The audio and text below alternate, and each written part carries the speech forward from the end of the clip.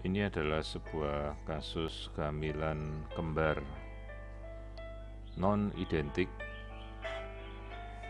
di mana terlihat masing-masing janin kembar ini mempunyai kantong yang berbeda.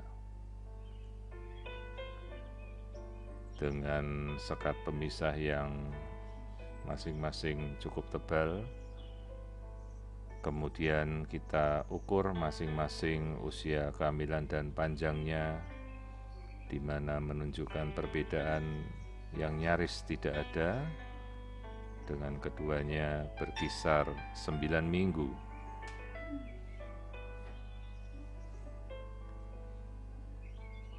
Terlihat jelas kantong pemisah yang kita namakan dichorionic diamniotic pregnancy, kehamilan tidak identik di mana kehamilan ini berasal dari dua sel telur dan dua sperma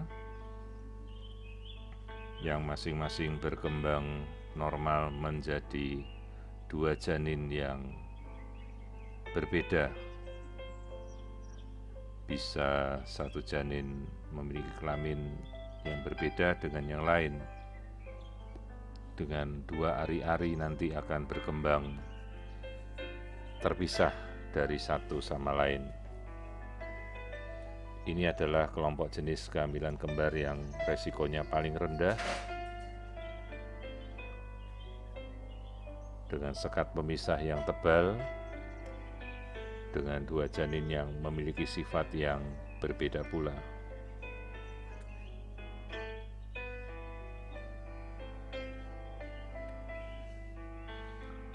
Jadi ini adalah kehamilan dikorionik di amniotic pregnancy, kehamilan tidak identik yang berbeda satu sama lain.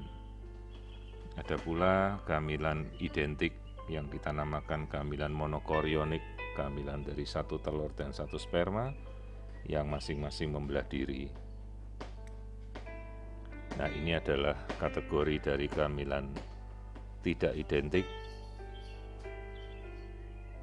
di mana masing-masing janin memiliki kantong yang berbeda dan kelak plasentanya yang berbeda pula.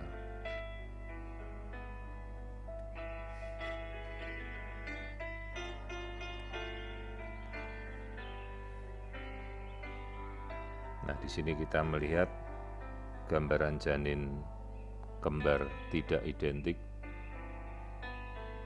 di mana masing-masing kantong terpisah satu sama lain.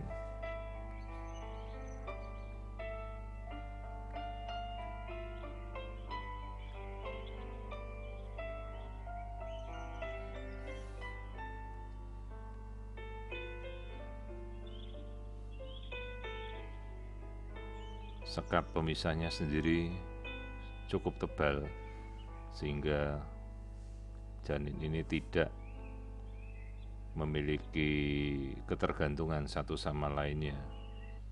Dalam istilahnya adalah kembar non identik.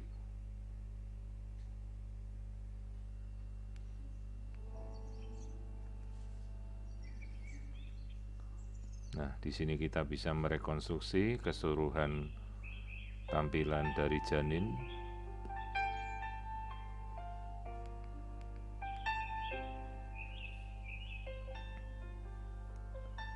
terlihat kedua kantong yang terpisah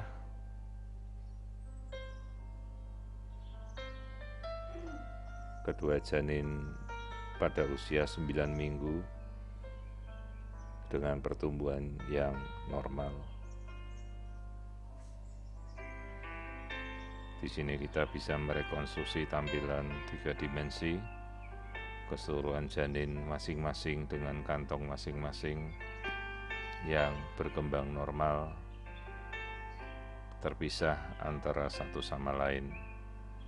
Ini adalah kasus kembar non-identik yang berasal dari dua telur dan dua sperma yang masing-masing berkembang menjadi dua janin dua individu yang berbeda.